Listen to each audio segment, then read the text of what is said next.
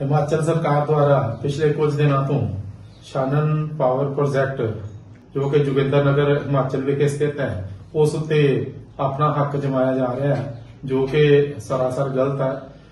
1966 ਦੇ ਵਿੱਚ ਪੰਜਾਬ ਪੁਨਰਗਠਨ ਐਕਟ ਦੇ ਤਹਿਤ ਸ਼ਾਨਨ ਪਾਵਰ ਪ੍ਰੋਜੈਕਟ ਕੇਂਦਰ ਸਰਕਾਰ ਦੁਆਰਾ ਪੰਜਾਬ ਨੂੰ ਜਿਹੜਾ ਸੌਂਪ ਦਿੱਤਾ ਗਿਆ ਸੀਗਾ। ਬਕਾਇਦਾ ਇਹਦੇ ਤੇ 1967 ਦੇ ਵਿੱਚ ਨੋਟੀਫਿਕੇਸ਼ਨ ਵੀ ਜਾਰੀ ਕਰ ਦਿੱਤੀ ਗਈ ਸੀ।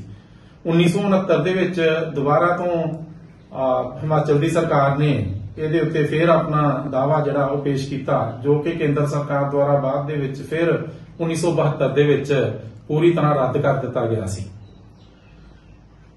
ਓਰੀਜਨਲ ਤੌਰ ਤੇ ਇਹ ਜਿਹੜਾ ਪ੍ਰੋਜੈਕਟ ਆ, ਇਸ ਤੋਂ 48 ਮੈਗਾਵਾਟ ਬਿਜਲੀ ਦੀ ਜਨਰੇਸ਼ਨ ਜਿਹੜੀ ਆ, ਉਹ ਹੁੰਦੀ ਸੀ, ਜਿਸ ਨੂੰ ਪੰਜਾਬ ਨੇ ਆਪਣੇ ਵਸੀਲਿਆਂ ਤੋਂ ਖਰਚ ਕਰਕੇ ਇਸ ਦੀ ਮੈਗਾਵਾਟ ਕਪੈਸਿਟੀ 110 ਤੱਕ ਕੀਤੀ ਸੀ। ਇਹ ਪ੍ਰੋਜੈਕਟ ਪਹਿਲਾਂ ਤੋਂ ਹੀ ਪੰਜਾਬ ਦਾ ਸੀ, ਪੰਜਾਬ ਦਾ ਹੈ ਤੇ ਆਉਣ ਵਾਲੇ ਸਮੇਂ ਦੇ ਵਿੱਚ ਵੀ ਪੰਜਾਬ ਦਾ ਹੀ ਰਹੇਗਾ।